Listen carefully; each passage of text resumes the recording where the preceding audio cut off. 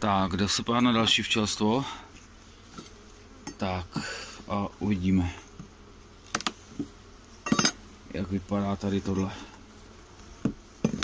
Včeliček je tady dost na první pohled, ale už nebudu předbíhat. Přece jenom jsou na Vysočině a už jsem se poučil, že tady všecko může vypadat jinak. No, tedy včeličky jsou opravdu taky rozlezly úplně všude, to je vidět, že asi i tady budou řešit zásoby. Tentokrát se na poprvé budu líp dívat.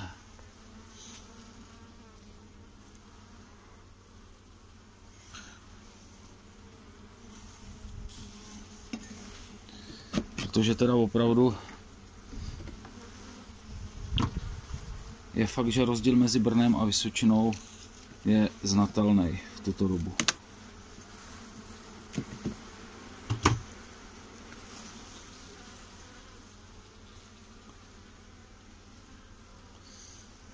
Vytahuju poloprázdné rámky zásob teda. Trošku tam je, ale podle váhy cítím, že jenom zbytečky.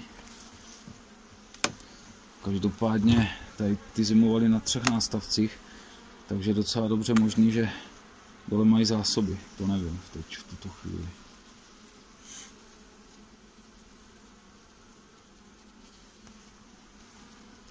Tady každopádně téměř žádný nemají.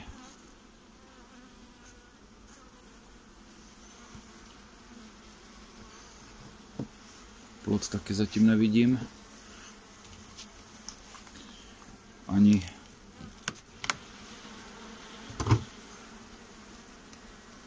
uzavřený, ani otevřený, ani vajíčka. Teď už bedlivě dávám pozor na ty vajíčka, protože evidentně na Vysočině se to opravdu teprve rozjíždí.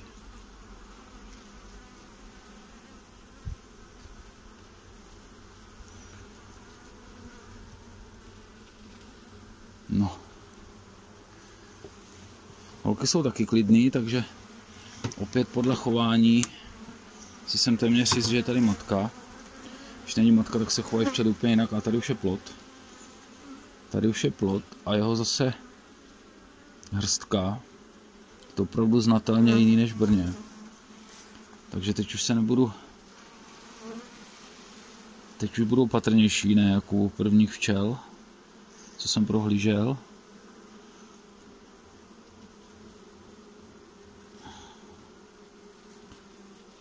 Tak. A myslím, že... Ne, tak to není matka. Je tady je otevřený plot, taky jenom po skromnu, jeho tady trošku teda víc, ale taky je fakt, že tohle jsou silnější včely.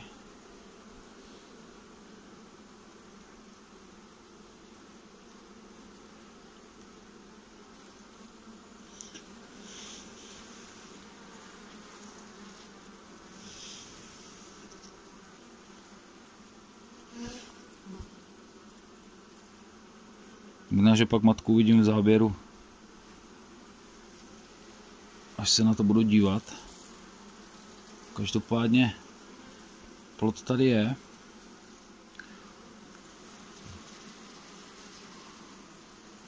A je i otevřený, takže se povám ještě na další rámek, ale jinak přestanu s prohlížením a rozděláváním, protože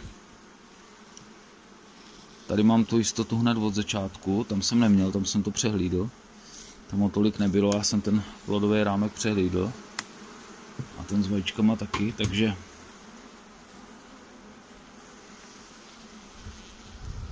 Tady je druhý plodový. Taky otevřený plod. Tady vidím už i vajíčka. Tady by mohla být matka. Když jsou tady vajíčka. Tak, myslím, skončím s prohlídkou, tady je to v pořádku. Je tady teda znatelně méně plodu než eh, v Brně. To je na první pohled. tedy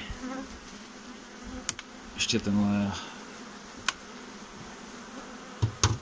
a vycuším dáme pokoj.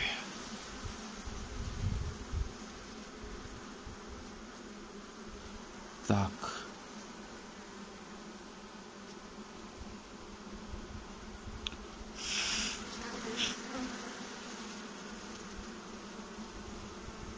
Tady jsou vajíčka taky. Tady jsou taky vajíčka, takže tady mám jistotu, že tady kladoucí matka a tím prohlídku končím. Zavřu je a ale zásob tady moc není, takže se pojďme si dole mají zásoby, to budu muset, ale e, každopádně je tady kladoucí matka, takže tady už nebudem prohlížet lodiště. Tak, tady jsem našel otevřený plot, i uzavřený plot, i vajíčka. Matku jsem nenašel, ale pám se, jak mají zásoby, protože zásob tady moc nebylo. Včelky mají ještě další nástavky, takže pomrknu zásoby a pak už je nechám být. Každopádně plodiště, když já objevím vajíčka a plot, tak nechávám být. Jo? Pokud všechno jde jak má. No. Situace se někdy vyvíjí různě při prohlídkách. Každopádně jdeme na to. Tak, situace je taková, že soudruhu nástavkou včel všude plnou, to je fakt, ale zásoby opravdu minimální. Takže zase beru z jiných včel, co mám, zásobní rámky a vkládám, protože včel je opravdu dost. Vypadají pěkně. Našel jsem tady i plot a uzavřený, otevřený, matku teda ne. Ale toto včelstvo prostě na Vysočině je taky skoro bez zásob. Něco tady mají, ale opravdu minimálně. Takže jdu udělat úplně to samé, co tam u toho prvního. Přidám nějaký zásobní rámky z jiných včel a budu přikrmovat.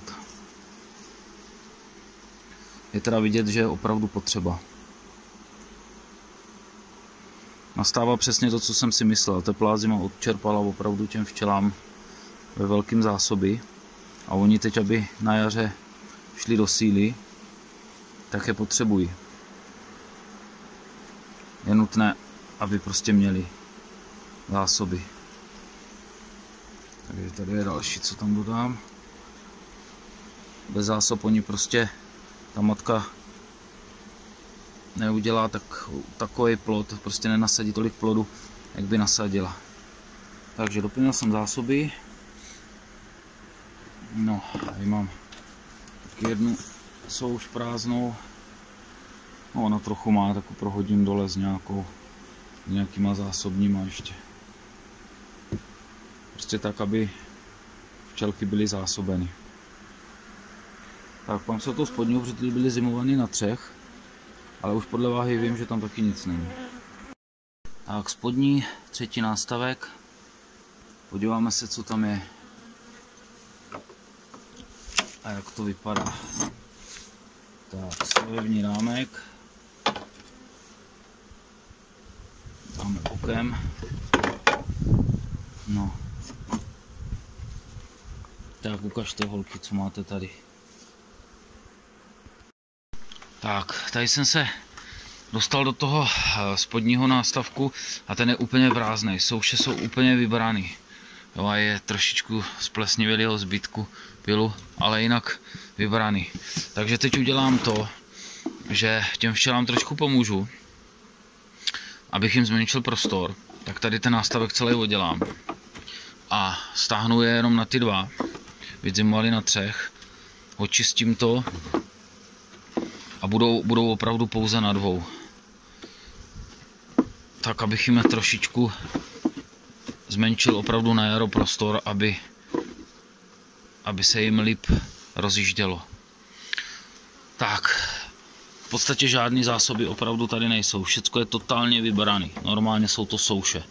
A bylo to plný zásob, takže kaš, tady ten je taky úplně prázdný. Takže jak je vidět, opravdu teplá zima udělala svý. No, takže teď jim pomůžu. Jdeme na to. Takže, máme čisté nové dno, jsem dal, samozřejmě. A včelky jsem si dal zatím provizorně senka. No. A teďka proberu ještě jednou ty rámky. Tam, kde aspoň trochu zásob, tak budou, budou uh, ve včelách, ale ty zúžím teda opravdu jenom na ty dva nástavky ze tří. Tak to teda žasnu, jo. Zatím, zatím uh, vidím všude opravdu vězený zásoby. Takže to už je opravdu druhý včelstvo a toto bylo, říkám, zimovalo na třech nástavcích, takže no, teplá zima, no. Jdeme na to.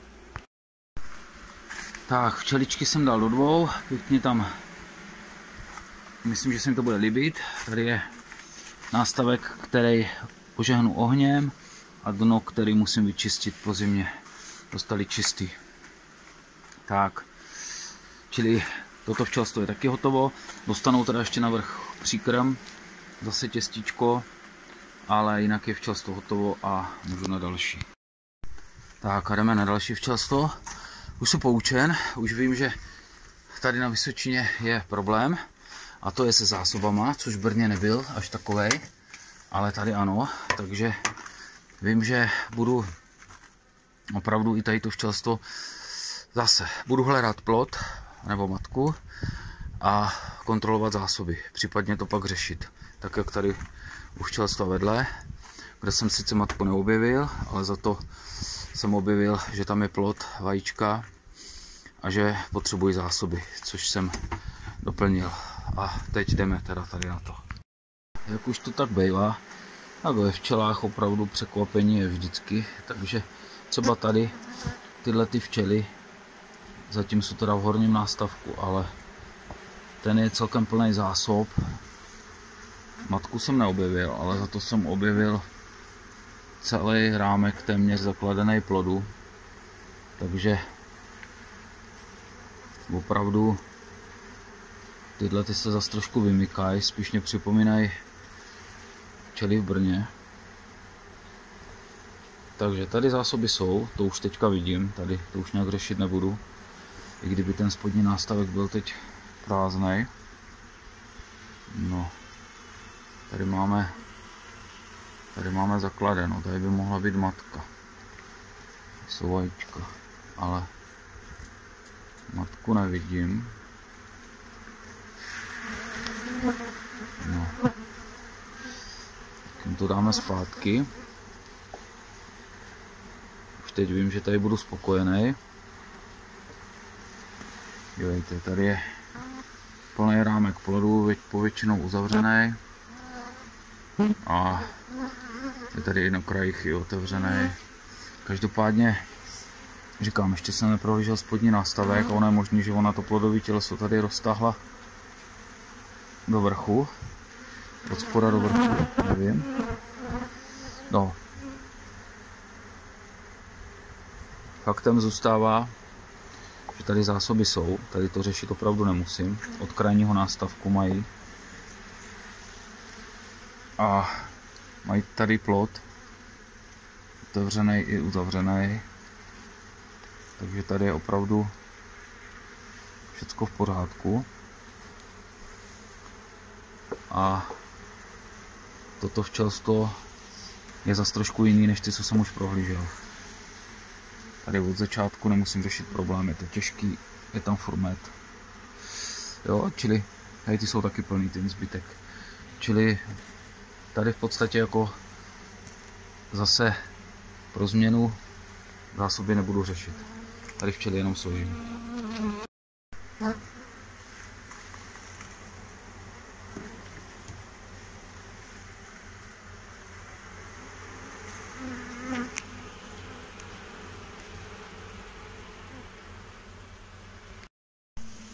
Tak, spodní nástavek. Taky obsednutý. Tak jdeme se na něho podívat. Uvidíme, co tady holky na to řeknou. Myslím si, že tohle včelstvo je zatím nejhezčí, co jsem tady viděl.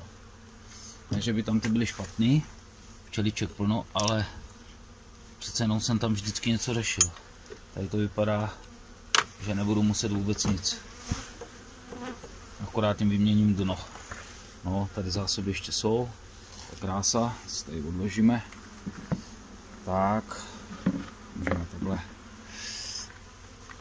Tady ještě zásoby jsou. Takže tohle včelstvo určitě nebudu řešit zásoby. Ještě se podívám, ale tohle včelstvo je dobrý. Vyměním jedno. Tak, po matce nebudeme pátrat, je to zbytečný, plok tam byl, otevřený i zavřený. Čili je to v pořádku, navíc tohle včelstvo má i zásoby. Takže tady je to naprostá parádička.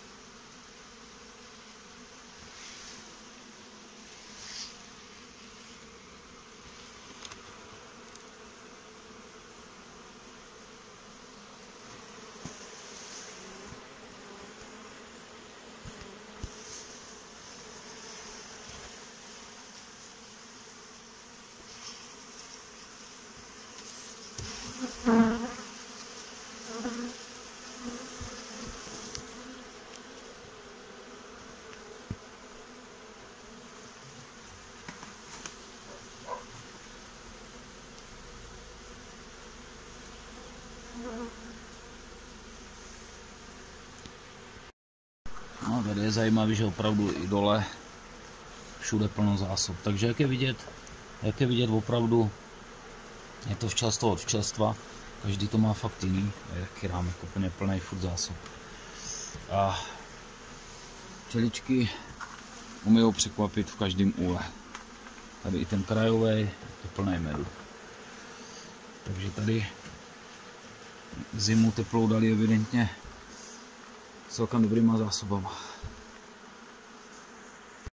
Tak, tohle je taky hotovo, ještě dáme to těsto nahoru. Každopádně dno jsme vyměnili. Takže dno mám čistý, nový. Složil jsem je tak, jak byly. Takže když bych to nějak rekapituloval. Tady u těch včel jsem měl strach, nakonec se ukázalo, že tam je kladoucí matka, ale rozjíždí se teprve. Zcela určitě to má trošku opožděnější než ty úly tady vedle. A důvod je, že tam skoro neměla zásoby. Čili zásoby jsem doplnil, tady jsem jich dal celkem dost. Tedy e, předpokládám, že to matku rozjede. V tomhle úlu zásob bylo trošku víc, ale taky nic moc. Matka tady měla nakladeno taky víc, což odpovídá tomu, že tam bylo víc zásob. A e, proto jsem sem taky ještě nějaké zásoby dodal.